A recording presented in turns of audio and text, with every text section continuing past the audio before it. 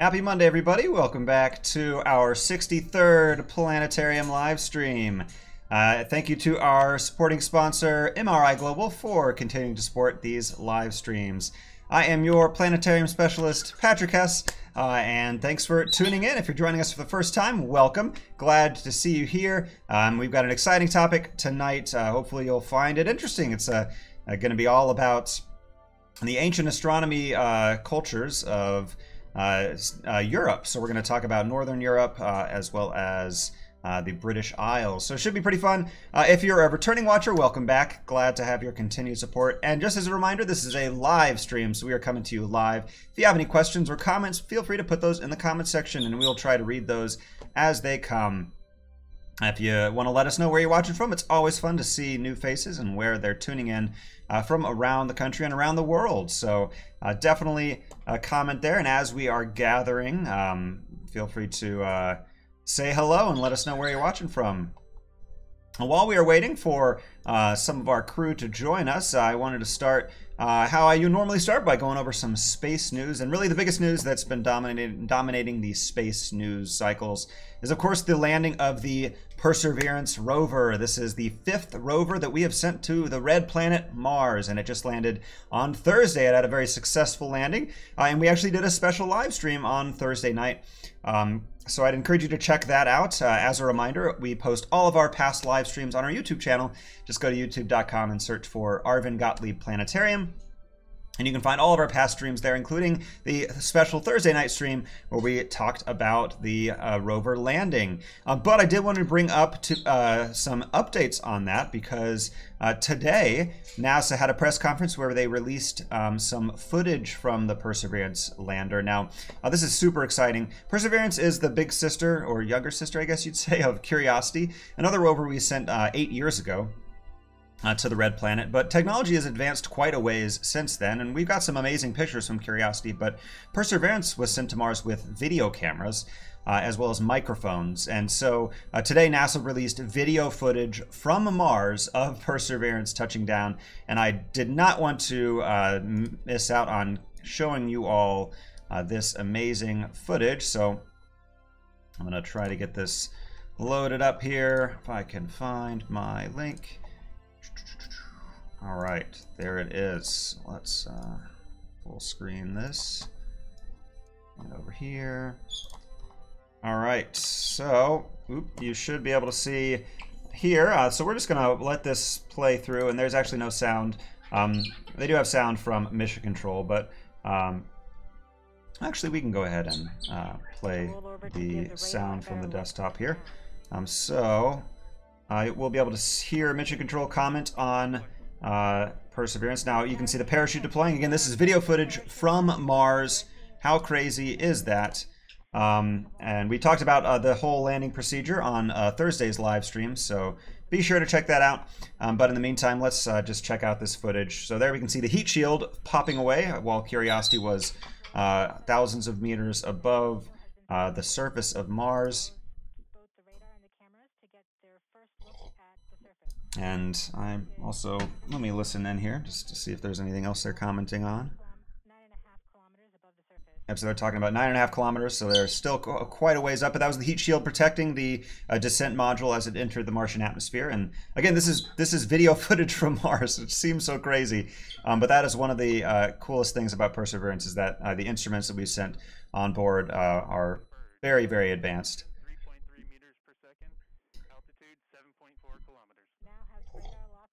Once again, if you're joining us, we're just watching video footage of Perseverance landing that was released by NASA today. Uh, if you have any questions or comments, put those in the comment section. Let us know where you're watching from too. Love to hear where everybody's tuning in from. So again, this is real. This is actual video footage from Mars. It's my mind is still blown thinking about this. But right now, um, the descent module is hanging by its parachute, coming down 4.2 kilometers above the Martian surface. And again, uh, there were microphones aboard uh, Perseverance, but they did not capture any audio of this particular part of the descent. Um, but you can look up, there is audio from the surface of Mars that they've already released to the public.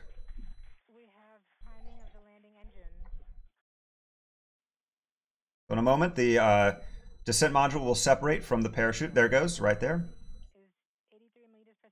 Now it's actually uh, moving sideways, which is why the camera changed a little bit as it's looking for its uh, landing spot, which it uses um, artificial intelligence to determine. So it actually picks its landing spot dynamically.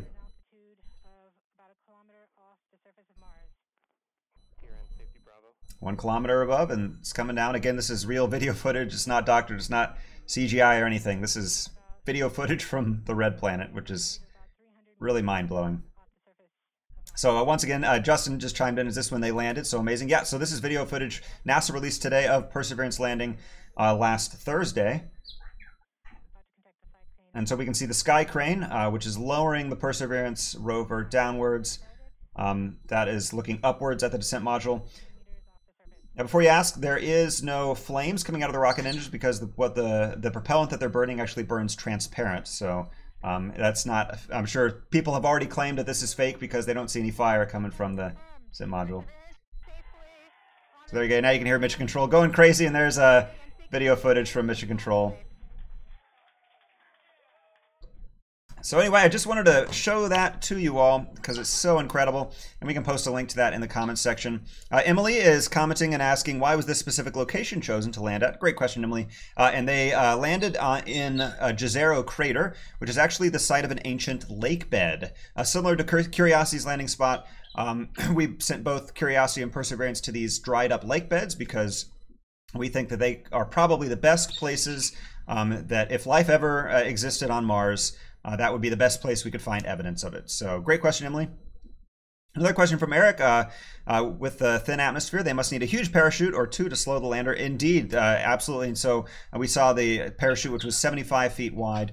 Um, and uh, and it what couldn't slow the lander down uh, enough, so they also had to use propulsive landing uh, using rockets to slow it down and then a sky crane to lower it all the way. Justin says it's just unreal how we can do that from that far away. And the coolest thing, Justin, is that that was all automated because Mars is so far away, we couldn't remote control it live um, because it takes 15 minutes for the signals from Earth to reach Mars. So that was all automated. Um, so uh, Mission Control was actually waiting just to hear back from Perseverance whether or not it landed because it was going to do it all on its own, which is pretty crazy.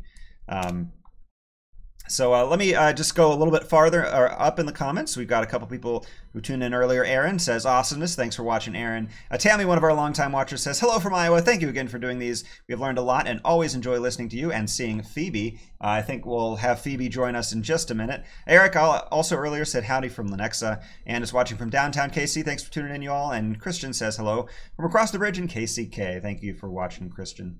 Uh, Will says, uh, definitely not much surface tectonic activity or surface activity given all the meteorite impact sites visible. Right. Um, so, uh, Will, that's a great point about Mars.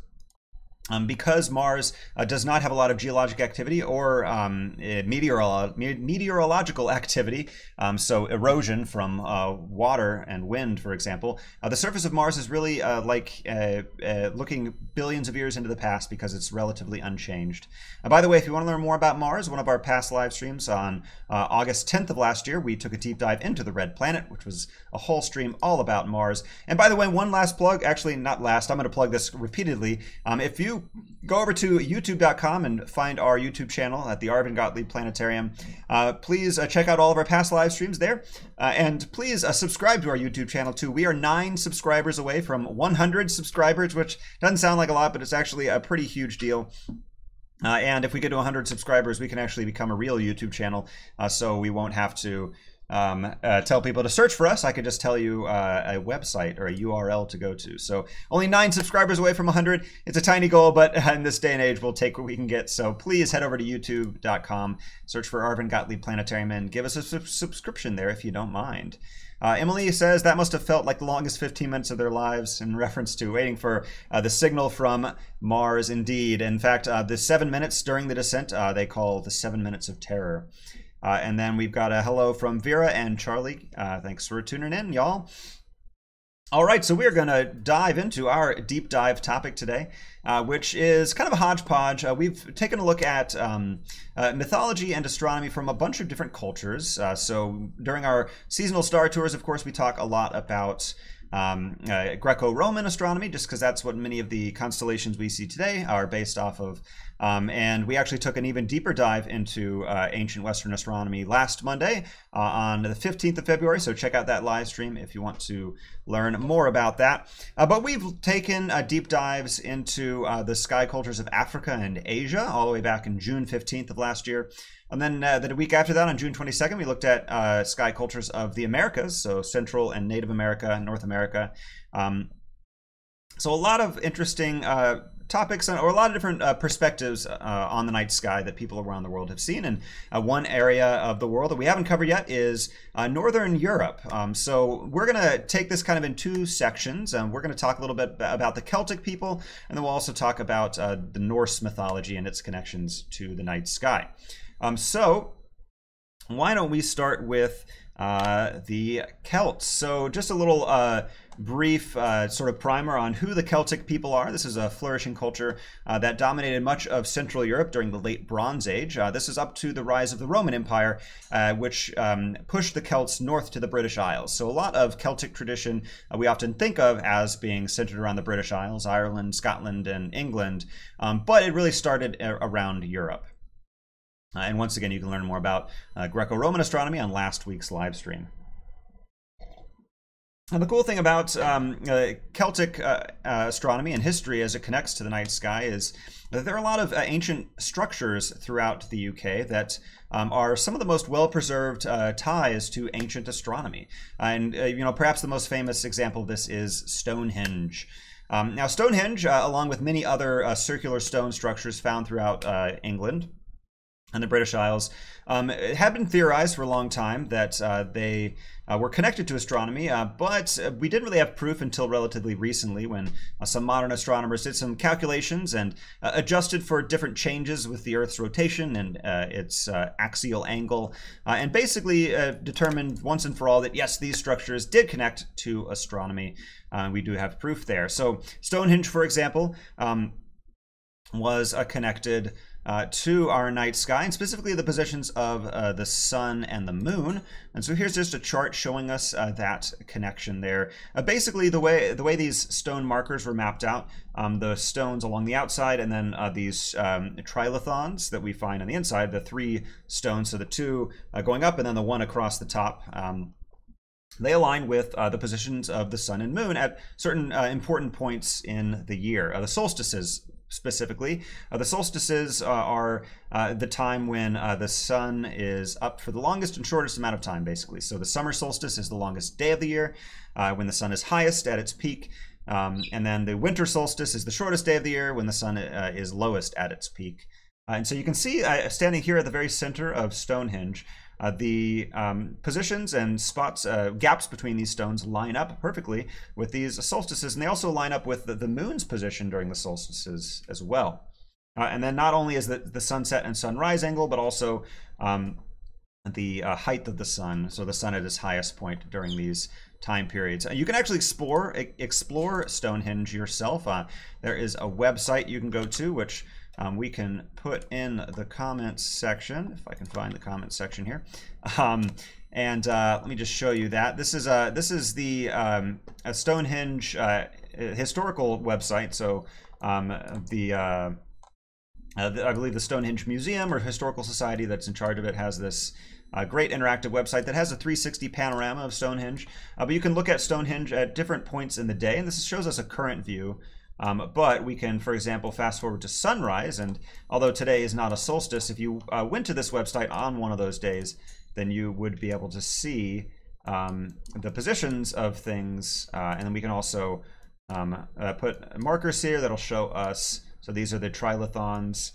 Uh, and uh, other parts called heel stones, and uh, they have names for all these different types of stones, but this shows us basically where they all align. We can also overlay uh, details about the position of the sun. So you can see the sun's arc at its highest point in the summer and lowest point in the winter, how that corresponds with these stone positions as well. So anyway, just kind of a fun website. Um, and during the solstices, they offer uh, virtual events as well. So you can tune in uh, with thousands of people around the world and watch the solstices virtually uh, and sort of in virtual reality and get to experience this as ancient cultures may have uh, for these ancient structures. So essentially, these ancient structures like Stonehenge acted as a sort of uh, ancient calendars uh, and uh, timekeeping tools uh, as well. So um, Stonehenge is one example, but there are a few uh, other examples of ancient structures. Uh, this is the Warren Field calendar, which is located near uh, Crathes Castle in Aberdeenshire, Scotland. And this was created likely by hunters, hunter-gatherers around 8000 BCE. Um, so over 10,000 years ago, uh, people created this calendar, and it's thought to uh, be the world's oldest calendar that we've discovered to this day. Um, there are 12 pits that are believed to correlate with the phases of the moon, used uh, so it was used as a lunar calendar, and it also aligns to the sunrise at winter solstice, um, which correlates the solar year with the lunar cycles on this. Uh, this map, uh, according to archaeological evidence, was likely maintained and periodically reshaped over hundreds of times over the past 6,000 years as uh, the lunar and solar cycles have shifted um, because of the axial tilt shifting the Earth uh, and precession and a lot of other things like that. Um, although it was stopped being used uh, 4,000 years ago. So um, it was used for a long time, but even then it's uh, been a long time since it's been used. Uh, so let's talk a little bit about uh, some stories from Celtic astronomy. Uh, and before we do that, let me jump back over to the comments. Uh, remember, this is a live stream. If you have any questions or comments, throw those in the comment section. If you want to give a shout out or just say hello and let us know where you're watching from, we'd love to hear there, that as well. Will uh, is commenting on Stonehenge. Um, saying, so it's a large calendar, so to speak, used for planting, harvesting. Yeah, absolutely, Will. So these uh, ancient structures uh, were used as calendars. So um, you know, especially uh, in the early days of, of human history when we um, were uh, sort of transitioning from a hunter-gatherer culture to uh, agriculture, you know, it was useful to have these calendars to predict things like the changing of seasons, which is helpful for planting and harvesting crops. And uh, we'll find stories in the stars also uh, correlating with those uh, changes as well. Uh, Cindy says the Stonehenge exhibit in Kansas City emphasize it as a burial site. Absolutely, Cindy. Thanks for bringing that up because we did have a Stonehenge exhibition at Union Station uh, a couple years ago, which was pretty awesome. Talked about the history of Stonehenge, uh, and um, and it went through. Uh, so as part of that exhibit, and we won't go into too much detail, but Stonehenge has thousands of years of history, and uh, different parts of it were uh, built and added on at different periods of time, and it was once thought to be used as a burial site as well. Mark says hello from Shawnee. Thanks for doing these shows as they're both very informative and entertaining. Well, thanks, Mark. I'm glad that we keep you both entertained and informed. Uh, that is awesome to hear. Emily says, uh, that's so awesome about YouTube. I'll subscribe tonight. Thanks, Emily. Tell all your friends to subscribe as well. Oh, it looks like update. We're at 95 subscribers, just five subscribers to go. Um, very exciting. Uh, and again, it's a very tiny milestone, but if we could hit 100 subscribers, uh, that would just be so awesome. I know my bosses would love that. You know, big numbers always look good. So uh, yeah, so five more subscribers. Go over to YouTube.com, search for Arvin Gottlieb Planetarium, uh, hit us up there, and uh, hopefully we'll hit 100. It'd be crazy we could hit 100 uh, by the end of this stream. We're at 96 subscribers. Oh my gosh, we're getting up there, guys. Thank you so much for your support. Um, all right, so let's talk a little bit about uh, some Celtic astronomy. Now, uh, because uh, Celtic culture was tied uh, to Roman influence, and um, they're, uh, they, they have been around uh, for Celtic culture was around since before Roman times, but also after Roman times, and as Often is the case when a, uh, a civilization conquers most of the world, uh, a lot of their traditions sort of get carried over to some of the other cultures that they uh, sort of assimilate. So a lot of cult, uh, Celtic astronomy is related to uh, Roman and Greek astronomy, um, but uh, we are going to, to hop on over to Stellarium, which is a free bit of software that you can use to learn all about the night sky. Uh, and we are going to look at our night sky with all the constellations up here. Uh, and um, we are going to talk a little bit about some of the constellations and how they relate to Celtic, Celtic astronomy. So one constellation that is familiar and has been up in our winter night sky is Perseus. Perseus is associated with the Andromeda story. And here we can see Perseus uh, right there near Andromeda, Perseus being the uh, Greek and Roman hero who defeated Medusa and rescued Andromeda from the sea monster. Uh, as for a Celtic tradition, though, um, uh, Perseus is associated with a couple different characters, as is the case. And I want a disclaimer here, by the way, that um, we're just going to be talking about a couple stories. There may be other stories you've heard of that I don't mention, but uh, as with any culture that spans tens of thousands of years, um, there are a lot of different stories, and there's not just one uh, story associated with all of them. So we're just going to bring in a couple stories here. So Perseus um, is often associated with the Welsh hero of Lula Gaifs, uh, who uh, was the child of Arianrhod, who, uh, who herself was represented by the constellation Corona Borealis, uh, which is the northern crown, which is a nearby constellation as well. Um, but we're not going to find that right now. Let's just focus on Perseus. Um, so uh, Perseus was uh, killed by his treacherous, or sorry, not Perseus. Um, Lula Gaifs was killed uh, by his treacherous wife and her lover. Uh, but the but at the moment of his death, his soul turned into an eagle, um, and the eagle is named Gwalchmai, or the Hawk of May. Uh, now, his uncle Gwydion searched for him and found him as the constellation Aquila after traversing the Milky Way and eventually restored him to life again. Um, so this story ties in a bunch of religious beliefs regarding birth, death, and rebirth uh, of the sun from Celtic legends. Um, Aquila, by the way, is a summertime constellation, um, which we'll find over here near the swan. There is Aquila the eagle, so another tie-in uh, with uh, Greek mythology. Now, near Perseus is Pegasus, the winged horse. Now, uh, Pegasus was said to be the horse of Llyr, the sea god, also uh, representing the goddess uh, Epona. Uh, let me jump back over here because I forgot. Uh, so anyway, this is the, to go back a little bit, this is Lula Gaifs uh, and the eagle, that part of the myth. And then uh, there is uh, the horse. So um, uh, Pegasus, again, represented a couple of different characters, one being the goddess Epona riding her white horse. Epona was said to be the protector of horses, donkeys, and mules, as well as the goddess of fertility. Uh, this uh, feature over here is a giant chalk horse carved into a hillside at Uffington in southern England, and some archaeologists think it may represent Epona, and it likely dates back uh, to 14,000 to 500 BCE. So a lot, a lot of ancient uh, Neolithic structures uh, or uh, ground carvings. We'll see a few others in our stream today. There's also uh, Hercules, um, who uh, was said to represent a fertility god uh, in uh, Celtic cultures. Some myths suggest that Hercules is actually the father of the Celts, and uh, it was occasionally mixed with another Celtic god, Ogmios, who was the Celtic deity of eloquence. And there are a couple Neolithic structures, um, or ancient structures, I should say, like the Long Man of Wilmington and the Cerne Abbas Giant. Uh, now, these are potentially Neolithic mon monuments, but there is some evidence to suggest they may have been constructed more recently, closer to the 1700s. Um, but uh, this uh, structure uh, definitely uh, ties in with that uh, fertility aspect, which is why it is censored there. Um, then, of course, there is Orion the Hunter back over in Stellarium. Orion is one of the uh, dominating constellations of our winter skies. It is the brightest constellation in the night sky. Let me hide this grid here. Um, and uh, this uh, was sometimes associated associated with uh, Cernunnos in Celtic mythology, who was uh, another god of fertility as well as uh, animals, wealth, and the underworld. Really covered a lot of bases there.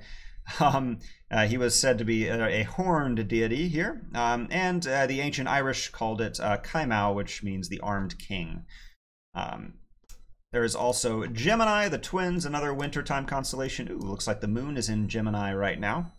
Uh, and Gemini was seen by the Celts as not as twins, uh, like Castor and Pollux, uh, their Roman counterparts, but the Celts saw it as uh, two men battling over the love of a woman. The men were named Gwyn and Gwythyr, and they were the sons of Gridal, who uh, were seeking the hand of the lady in red, Creiddylad. Uh, so in ancient times, red was often the color a bride wore to show her purity, unlike modern days where it's white. Uh, and in Celtic traditions, Gwyn and Gwythyr are known as the rivals of May, and they're interpreted as being the light and dark halves of the year, battling it out as they set at midnight on the first day of May. So the constellation there, setting at midnight uh, in the springtime. Oh, just an update. It looks like we actually hit 100 subscribers. We're at 101 subscribers. Oh my goodness. Thank you all so much for your support. That's so amazing. Uh, so we'll be able to uh, update our YouTube channel, and we are now official. That is so cool. Uh, but we could use more than 100 subscribers, so go over there if you haven't yet and subscribe to the Arvin Gottlieb Planetarium's YouTube channel. Hopefully we'll have an even easier link to find. That is so amazing. Thank you all so much for your support. I can't believe that happened within like five minutes. That is so awesome. And with so many subscribers, we should use our YouTube channel more often. Maybe we'll post more exciting things there. If you would like us to post more uh, short clips on our YouTube channel, let us know in the comments because that's something that we've been thinking about doing. Uh, so uh, that uh, kind of does it for our discussion of Celtic tradition. Um, we're going to move right along, but first we're going to hop on over to the comment section. Don't forget, this is a live stream. If you've tuned in uh, before we or after we've started, uh, then uh, let us know that you're watching. Let us know where you're watching from. It's always fun to see new faces and where they're tuning in from. Kelly is watching and says, This is a fantastic topic. Thank you. Well, thanks, Kelly. Glad you're enjoying it. And don't forget, if you're interested in this type of topic, that we have a lot of other amazing live streams for you uh, on our YouTube channel. Uh, Viv says, subscribe. Thank you so much, Viv, for supporting us. That is so amazing. Uh, Katrina says, what is the brightest star in the night sky? That's a great question, Katrina. And that star is actually visible right now, uh, and it will be near Orion. In fact, if you draw an imaginary line through Orion's belt down into the sky, it points right at this star, and that star is named Sirius. It is the dog star, part of a dog constellation named Canis Major one of Orion's hunting dogs. So let's uh, let's bring all those stars and constellations back. There we go. All right, great question, Katrina. Uh, Katrina also says subscribe. Thanks for supporting us, Katrina. And Katrina's watching from Raymore. Awesome. Uh, Angel, uh, Angel's watching from Springfield, and thank you, Angel, for tuning in as well. All right, guys, we are going to move right along. Wow, that's so exciting! I can't believe we hit 100 subscribers. That is really awesome. It's the little things, you know. All right, so let us shift our focus now to another European culture uh, and that is the Norse people or Scandinavian people, as they're modern are called in modern times. Um, so, uh, Norse cosmology and astronomy is pretty famous. Uh, the Norse gods and goddesses uh, they dominated. Uh, the cultures of the Viking Age. So the Vikings uh, were from around the year 800 to 1100 CE. So that's modern times, around medieval times or right before medieval times in Europe. And these uh, were called the uh, Norse people or North Germanic peoples. Uh, and their modern descendants include the Icelanders, Norwegians, and Swedes. And again, in modern times, we call them Scandinavians. Um, but they had quite an interesting uh, tradition, cosm cosmological tradition, and they had some interesting connections to our night sky as well. Now, uh, the sources um, Ooh, oh, so actually, I'm just seeing a follow-up question from Katrina uh, on uh, the brightest star. That is Sirius. So Sirius is a star. Uh, Katrina is asking if it's a star or nebula, uh, and it is indeed a star, a very bright star. Uh, and uh, there are a few nebulas you can see in the night sky, but they're very dim and a bit harder to spot. So a good question, Katrina. That is a star as well. Also, I'm seeing that Sylvia is watching from Independence. Thanks for tuning in, and Kim from Paola. So thank you all for watching. All right. Hopefully we answered y'all's questions. If you have any more, please put them in the comment section. But we're going to move right along talking about the Norse mythological traditions and its association with, with astronomy. Now, most of the uh, sources of uh, Norse mythology come from uh, writings called the Poetic Edda. Um, uh, and uh, the uh, Prosaic Edda, and these were this is the modern name for an untitled collection of Old Norse anonymous poems that were compiled in around the 1200s, so right after sort of the period of the Vikings. and this is our most important and one of the very few sources of our modern understanding of Norse mythology, as well as Germanic heroic legends. Another couple problems with our study of Norse mythology. One, there are not many sources. Uh, and also, um, it, as with many things in medieval times, a lot of the writings used Latin and Greek names just because they often liked writing uh, about uh, history in Latin uh, as well as Greek. And then also in the 1800s, uh, there was kind of a fad that popped up around the world um, that romanticized uh, Norse traditions and gave rise to even newer names and traditions. So there are all these layers and muddled uh, histories. But um, we do have a few uh, uh, primary sources of Norse mythology. Uh, now, it's interesting though because we should have more, you would think, uh, considering that uh, the uh, Viking people were considered to have mastered navigation and seamanship. After all, they conquered a lot of the the European region around that time. They were well known for that. Uh, so they were definitely experts in astronomy uh, as pertaining to celestial navigation. I do want to mention if you want to learn more about celestial navigation and the different techniques that people around the world use throughout history, I did a very fun live stream uh, while I was on vacation. Actually, uh, it was shot on location. I'll just give a hint there, and that's uh, from November 16th last year. So watch that one. It's a bit fun and has a def- has a bit of a, a change of scenery than what we're used to for our live streams. so Uh, I'm just really proud of that live stream, so I try to plug in any chance I get. Um, so, uh, uh, so, talking about Norse mythology, like uh, the Greeks and Romans and many cultures around the world, uh, they uh, connected their celestial objects with characters from their cosmology and mythology. Just like many other ancient religions. for example, the sun is personified as a goddess named Sol, uh, which is Old Norse for sun, and the moon is personified as a male entity named Mani, uh, which is Old Norse for moon. Go figure. Uh, kind of interesting, though, that the genders of the sun and the moon are sort of reversed from what we traditionally think of, at least from Greco Roman mythology. Uh, the sun is uh, often a male god, and the moon is often a female goddess, so weird that the Norse mythology kind of reversed that. Uh, now, in their mythology, the sun and the moon circle the heavens because they're being pursued by giant wolves named Skoll and Hati Hruvitnisen, um, these were wolves that chased the sun and the moon through the sky. And the earth was also personified as Joro. Night is personified as the female Jotun uh, or giant Not. Day is personified as Dagger, and Dagger's father, the god Dellinger, uh, which is Old Norse for shining, may in some manner personify the dawn. Uh, and there are other uh, mythological personifications uh, as well. Now, one of the things that dominate uh, Norse mythology is the concept of Yggdrasil, which is uh, called the World Tree, and this is an immense, immense sacred tree around which all the universe exists, including the nine realms. It's the geographic geographic center of the Norse spiritual cosmos. Um, and the reason I bring it up is uh, not so much that it pertains to astronomy, but uh, the way that their mythology uh, worked is that they almost considered um, these different realms as uh, uh, you could think of them as like other dimensions. Now we've kind of talked about uh, the existence of other dimensions in live streams, although we've not done a deep dive topic on it. If some, that's something you're interested in, let us know in the comments. But uh, basically, there were nine different sort of planes of existence uh, that various beings from these pre-Christian Germanic mythologies existed. There was Midgard, which is the world of humanity, but there was also Asgard, the world of the Aesir uh, or Aesir tribe of gods and goddesses. Um, and uh, these were not the end all be all gods in Norse mythology. Excuse me, Norse mythology. They were just uh, another group of uh, sort of godlike figures. There were the Vanaheim, uh, or the Vanir rather, that lived on Vanaheim, uh, who were another tribe of competing gods. The Jotunheim were um, Jotunheim consisted of the world of giants. There was Niflheim, which was a primordial world of ice, and Muspelheim, which was a primordial primordial world of fire. Alfheim, which is the world of the elves.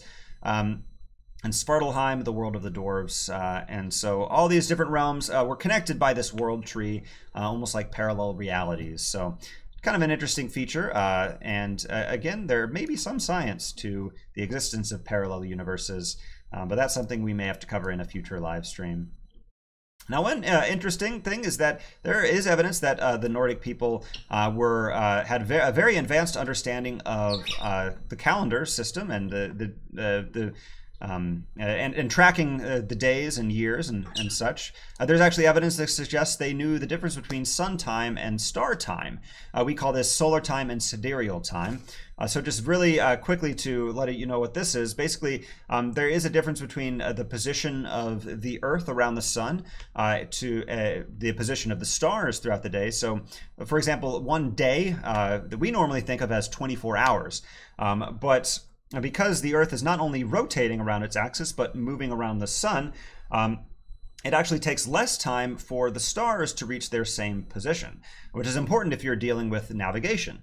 Uh, because if you're navigating at nighttime, you want to learn the positions of the stars, and it actually takes 23 hours and 56 minutes uh, for the stars to reach their same position, because again, the Earth is moving around the sun as it's rotating. So that's one sidereal day, um, or a, a, star day, as the uh, ancient Nordic people may have known it as. And then the sun day, um, uh, not to be confused with the day of the week, but the sun day uh, would be that 24 hour day when the sun is in the same position. Uh, so they used uh, their knowledge of uh, other things like moon phases and positions of the sun to create an incredibly accurate calendar that was actually uh, uh, could be used repeatedly. Um, so this is a reusable calendar uh, called a runic calendar, and these were based on a 19-year-long uh, cycle called a metonic cycle. And this is basically a period of approximately 19 years after which the phases of the moon start recurring on the same day of the year. So you know how your birthday, for example, is the same day of the uh, is the same date of the year every year, but it doesn't fall on the same day of the week. Well, in the same way, the moon phases don't always fall on the same day of the year, um, but every 19 years they actually do. They go on a cycle like that. Um, so these calendars were often carved into wood, bone, or horns. And you can actually make your own calendar. Um, there's a, a, calendar, it might be a little hard to read on our stream, but we're actually in the third metonic cycle. Um, so basically what that means is if you uh, look at this uh, golden number here, uh, and you can find that three there. So basically, we can see that the next full moon will happen on February 27th. And if you look that up, uh, that is true that this Saturday will be the next full moon.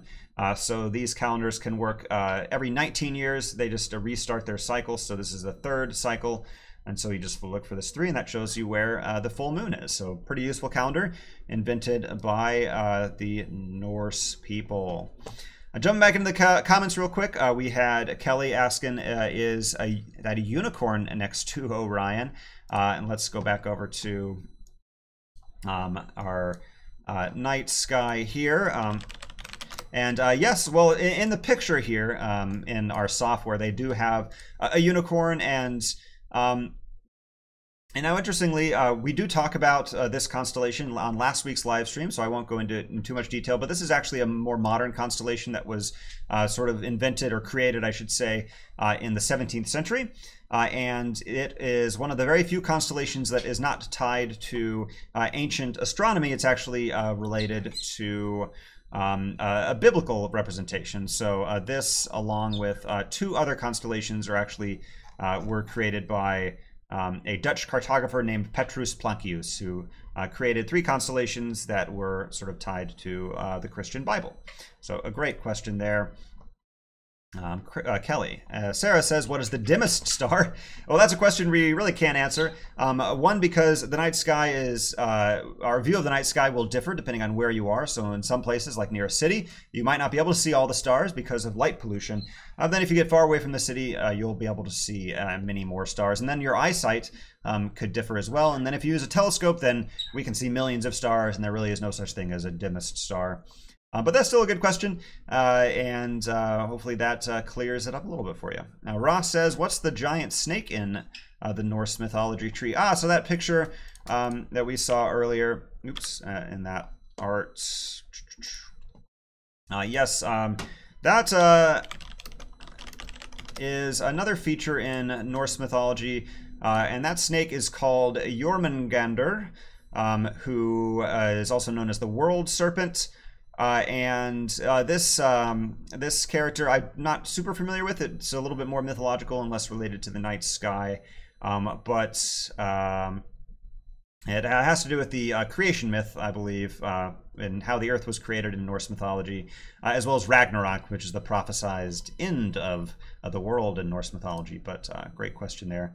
By the way, we're already up to 103 subscribers on our YouTube channel, which is so crazy. Thank you all much, all so much for supporting us uh, in that way. So real quick, I wanted to talk about the days of the week because uh, this also relates uh, to uh, uh the Norse connection to uh, um, uh, to astronomy in a way, since all these calendars are related to astronomy. and um, so back then, they used their uh, their monthly calendar was also associated with this weekly calendar. So you can see here um, the days of the week are, are connected to this um, this runic calendar as well. These are uh, these are translated, obviously. You can see here the actual runic calendar used runes, so actual uh, Norse lettering. Uh, but I just wanted to bring up real quick that uh, our weekday names, the ones that we're familiar with in English, are actually directly related to Germanic uh, uh, the, their Germanic, Germanic origin. So Sunday, for example, comes from Old English, uh, which again came from uh, from Norse mythology, uh, and this uh, is the sun's day, which um, is. To, to, to, to, the sun is personified as Suna or Sol, so it is the sun's day. then Monday is uh, Moondage, which is the moon's day. And then Tuesday is uh, as Tuesday, which is TIW, two, uh, is related to uh, the Norse god Tyr, who is the one-handed god associated with single combat and pledges in North mythology, uh, and uh, was uh, also prominent in other Germanic paganism. Wednesday uh, is um, reference references the Germanic god Woden, who is associated with Odin. and there is Thursday or Thursday, represent, representing a Thor, um, the uh, god of thunder. And Friday is a Frigga uh, which is referencing uh, uh, uh Frigga, uh, another um, Norse god. And then Saturday is just connected to um, the the the Greco-Roman mythology. So that one is not connected to Norse mythology. They just borrowed it from the Greeks and Romans. All right, so a couple constellations. Now, Stellarium here is pretty cool because uh, we can actually switch uh, sky cultures. They didn't have, uh, they don't have a built-in sky cultures of uh, the Celtic mythology, but they do have a couple from Norse mythology. So we'll touch on a couple of these briefly. Um, oh, by the way, the, the uh, Norse people saw the stars, uh, consider the stars to be sparks from Muspelheim, the primordial world, primordial world of fire, and the Milky Way is sometimes seen as representing the Rainbow Bridge or the Bifrost, which connects Asgard to Midgard. So let's look at one of these constellations. There aren't a lot here, but there are a couple that uh, we can tie to mythology. So this is um, uh, Arvandil's Toe, which is the modern day constellation of Corona Borealis, the Northern Crown. Uh, the story that uh, is tied in here involves a fight between Thor and the giant Hrungnir. So Thor was injured in the fight, and a small piece of stone got stuck in Thor's head. In order to get it out, he sought the help from Vala, a type of oracle named, uh, from Avala, which is a type of oracle. Uh, when Thor felt that the stone was coming out, he told the oracle that uh, uh, um, let's see. Uh, do, do, do, do. Sorry, I'm just realizing uh, there's a typo in my notes here. Um, uh, so anyway, the story involves the Oracle helping Thor get the stone out. Uh, but at one point, uh, the Oracle's husband, who's named Arvandil, um, is involved in this story. And uh, basically, um, as they were trying to escape the land of the giants, where he was fighting this giant, uh, Arvandil's toe uh, froze, uh, and Thor broke it off so they could uh, escape, and the toe became a star or a constellation, uh, and um, uh, there it is. So a bit of a convoluted story, but that is meant to represent some sort of toe. there is the wolf's mouth, which we'll find over here. this is actually part of the constellation Taurus, which is the bull's head right here. Uh, and this is said to be one of the two wolves that's chasing the sun and the moon. We can see that it's located near the ecliptic, which is the apparent path of the sun through the sky. It's also where you'll find the moon, or where the moon will appear close to. Uh, and so uh, that correspondence there, uh, we can kind of see that this uh, wolf's mouth uh, is following the sun wherever it is on that path. Orion is said to be the fisherman, or at least these three stars in its belt. Uh, and then there are the dippers, which were said to be chariots. And so there is the man's chariot or woman's chariot, uh, represented by the big and little dipper. And these chariots were said to belong to Thor and his stepmother, Freya. And then there is uh, the constellation over here, which is the modern day constellation of Auriga, is said to be uh, the battlefield of the Asur. Uh, this is said to represent Ragnarok, which is the prophesied end of all existence, as uh, the uh, the people of Asgard, uh, were battling uh, at the end of the world, basically. So, uh, a couple constellations there, and we're going to jump back over to the comment section as we are going to be starting to wrap up this little stream. Uh, and actually, before I forget, let's bring in my assistant, Phoebe, see if she'll join us for the end of this stream. Hi, come here. She was taking a little nap, so let's see how grumpy she is. All right, Phoebe, let's see what people are saying in the comments section. Once again, we're going to be wrapping up our stream shortly today, so if you have any last minute questions or comments, throw those in, into the comment section. Uh, Katrina says, wasn't Caesar a part of the calendar and making it days of the week? Yeah, so the calendar uh, has uh, quite a, an interesting history going all the way back to Roman times, and then, of course, influenced, as we discussed, by uh, Northern Germanic tradition. Um, but uh, the days of the week were uh, uh, a big part of, of the uh, Roman history as well. And I believe we talk about that in one of our past live streams. Oops. Um, let me see if I can find which live streams. Uh, oh, thanks for the kisses, Phoebe. Uh, da -da -da yeah, so we talked about that. Oh, in our moon live stream, we did a live stream all about Earth's moon and that was on November 30th. So uh, if you want to learn more about uh, the days of the week in their history, uh, Katrina and anyone else, be sure to check out that live stream, our moon live stream. And again, you can find that on our YouTube channel.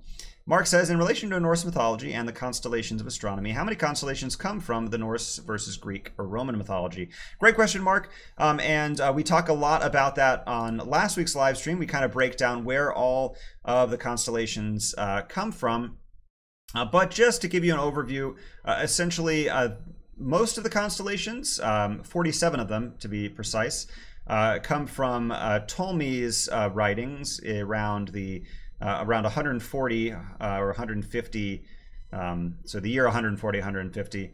and Ptolemy was a Roman citizen living in Alexandria, and he based those 47 constellations on his understandings of ancient tradition, but he only saw the northern hemisphere. Uh, so there were 13 constellations uh, that uh, came from southern hemisphere cultures uh, that were added in the 1600s. Seven of them uh, were just basic uh, tools and assorted animals added in the late 1600s. Three of them were biblical creatures, as I mentioned earlier, added by Petrus Plancius in 1613. 17 were navigation tools from French astronomer Nicolas Louis Delisle, who was in, uh, added these constellations in 1763. And then one was from Egyptian history. Um, so actually, none of our modern 88 constellations uh, are from Norse mythology. Uh, but again, uh, the lines are really blurry as um, the uh, historical traditions cross over. Uh, you know, uh, ancient Rome uh, occupied much of Europe for nearly a thousand years. So there is a lot of gray area as a lot of these stories sort of blend into one another. Um, Let's see. Uh, Katrina's mentioning something about Freya and Thor being related, uh, and uh, there are a lot of different versions of Norse mythology, uh, Katrina. Uh, and uh, again, our understandings are fairly limited because a lot of um, a lot of the history is passed down orally, and then the only writings we really have, again, are from that poetic Edda. Um, so these things differ. Uh, and then, uh, of course, there is uh, the Norse mythology popularized by Marvel Comics and the Marvel movies, and they actually change quite a bit uh, in those as well. So uh, those aren't exactly accurate to uh, Norse mythology, but um, just it just as interesting, if not, uh, you know, a little bit more exciting. Sylvia says, "I'm surprised about the connection to names of the days of the week. Do you? uh, is there a connection to names of the months? so, oh, the names of the months. that's something." Um, that uh, we haven't really talked about on our streams. Um, but uh, the names of the months uh, really come from, uh, that's where the Roman calendar really uh, comes into play here. And so the names of the months as we uh, associate them in modern times are really, they come from Roman mythology. And that's January, named for Janus, the god of doors and gates, as it was the doorway to a new year. February is Februalia, a time period when sacrifices were made to atone for sins, March named for Mars, the god of war. Uh, April comes from the word aperire, which is Latin for to open, as in uh, the flowers opening in springtime. Um, May is named after a goddess of growth and plants. June, uh, Latin goddess Juno. July, named after Julius Caesar. August, named after Augustus Caesar, uh, Julius Caesar's uh, successor. Uh, September, uh, which is comes from Latin for seven, because it used to be the seventh month before they added July and August. Then October, uh, Latin for eight. November, Latin for nine, and December, Latin for ten. All right. Let's see. Andrew uh, says, "Hi Patrick. Hey Andrew. Thanks for watching. Glad to see you here." Uh, it's well into night here in London, and it's a rare evening of clear skies. I'm doing my best to follow along with the constellations. That's so awesome, Andrew. Thanks for watching all the way from London. Uh, and uh, thanks for watching uh, so late as well over there. Um, have you ever seen Stonehenge? Uh, I bet it's pretty amazing. If you haven't, you should definitely check it out, especially near a solstice, because as we learned on our stream today, it is tied to those. But uh, yeah, great to hear from you, Andrew. Thanks for watching. Sylvia says, Katrina, my Grand dog is named Rhea after the mother of Zeus. Oh, that's awesome. Uh, Linda uh, says that Linda loves these. Well, thanks, Linda. I appreciate you for watching.